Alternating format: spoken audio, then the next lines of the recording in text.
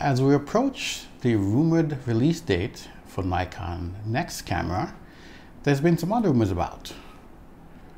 No Z6 or Z7 III, a possible cinema camera from Nikon, 8K 60 on the Z8. Here's my thoughts on what these could possibly mean for us in the future. Hi everyone, welcome back to my channel, it's Wayne. I have some ideas about what's going to happen next for Nikon that I want to share with you guys. This morning as I was messing around with my FX30 and thinking about, you know, what camera I want to give up depending on what Nikon comes out with. Would it be this one or the A7R5? Something hit me and I figured I need to make a video about it because you guys would probably be interested in as well. So let me put this aside and we start by first addressing those lenses that came out from Sigma. Three APS-C lens for the Z mount. Hmm. Three APS-C lens, all primes, 1.4. Hmm. That says something. And my friend over here is like peeking her head in to say, I think I know what it is. Let me give you a little history lesson. Prior to this camera coming out, Sony released three APS-C lens for it. Okay, well, I shouldn't say for it because we don't know if it's for it, but people speculated, hmm, all these other cameras that they had, Sony's putting out some pretty decent APS-C lens. That's cool. And a few months later, what do we get? FX30. No one expected it, no one knew it was coming, but it came out. Some of the thought process, granted these Sigma lenses are not Nikon lens, but could there be a possibility as Nikon is now focusing on video camera that we will see some sort of cinema camera based upon an APS-C format, just like my friend here, on the Nikon side? So that got me thinking, what would a possible Nikon cinema camera look like? Will they make something like this one? Let's explore that for a moment. The FX30 4K capable camera has a 6K sensor inside of it, 26 megapixel. Now I know you photo guys are saying, yeah, I need to just sign off right and about hang out for a second. You guys have been saying that you don't want a fan, you don't want video in your camera. As a photo guy who's now gone video, I started to think, hmm, after getting this camera and seeing what it was like, why couldn't we have a camera from Nikon based on the Z6 II? Now my thoughts on this are if we take the body of the Z6 II, make it slightly thicker, just like we're seeing here, okay? Add a fan to it as well, get rid of the EVF, we could have ourselves a cinema camera. Now while this has only a flip out screen and it's 3 inch, the size of the body of the Z6 II allows for a 3.2 inch screen or larger. So we would have that camera, right? The Z6 II is actually taller than this camera and a little bit wider.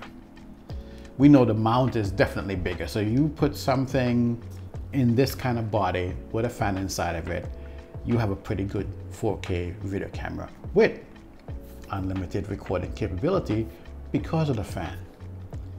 Could they stick RAW in it? Possibly. Would they? Hmm, maybe.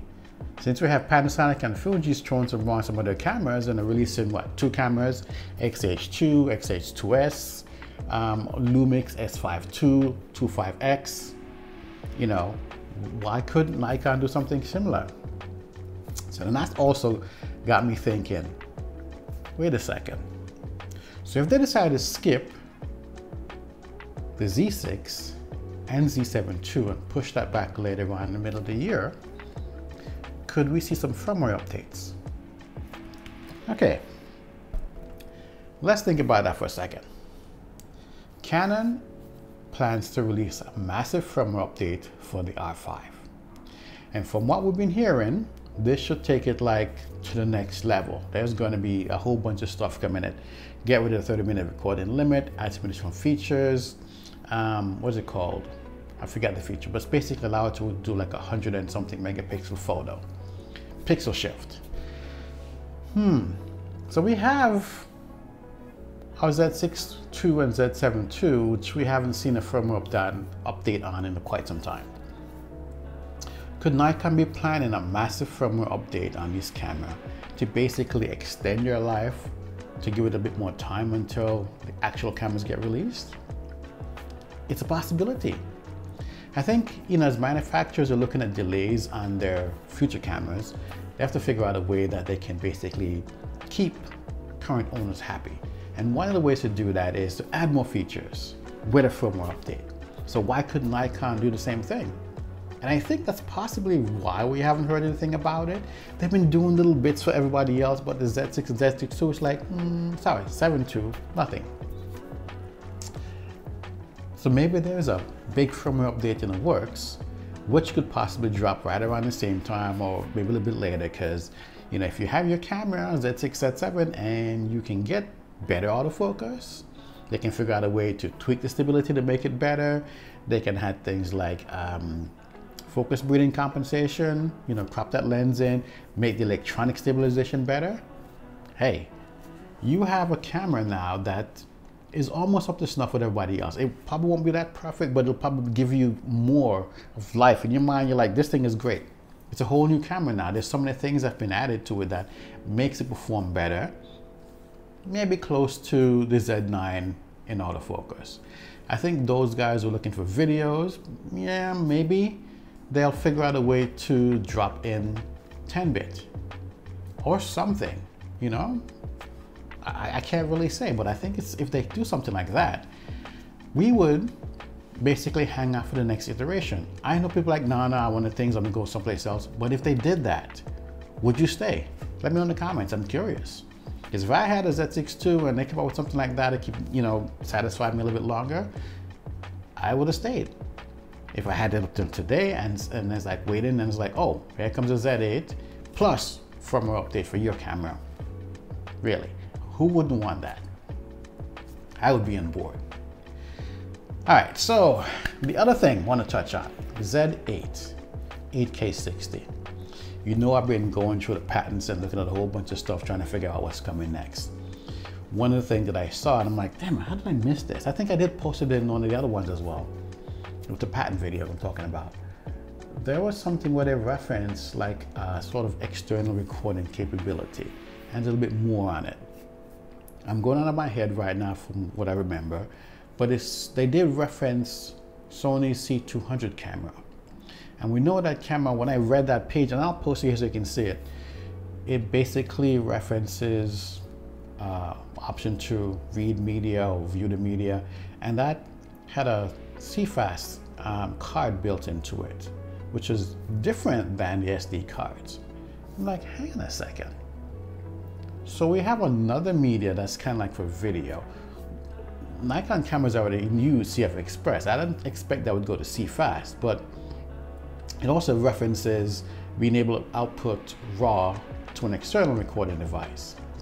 Now, one things that we know is as you go with the higher codecs, you're expecting the camera to get a bit warmer.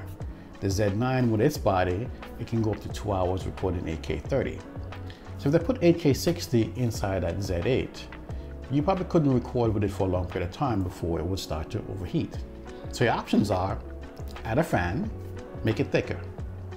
For the guys are gonna say, hell no, no fan, get rid of the video stuff. But guys, video's here to stay, it's gonna have video. They already put it out in the rumor that's gonna have 8K 60. So we know that the Z9 can do NRAW, ProRes RAW, internal. Basically all the stuff, all the raw stuff can be done internal in that camera. The Z8 I think would have the option to do 8K 60 up to a certain level internally. If they're gonna do raw, that's gonna have to be external, right? You get an external recorder, you can do that. Now, not many people are shooting 8K, but people do use 8K. I've tested it with this A7R5 and it looks awesome. As far as space, it's huge. I need to upgrade my hard drive, my computer if I'm gonna keep shooting 8K all the time or get some kind of external drive that's gonna handle all that. How many of you guys would prefer if they give you 8K 60 externally? Or would you want to have a fan on the back of the Z8? Let me pull out this trusted camera right here.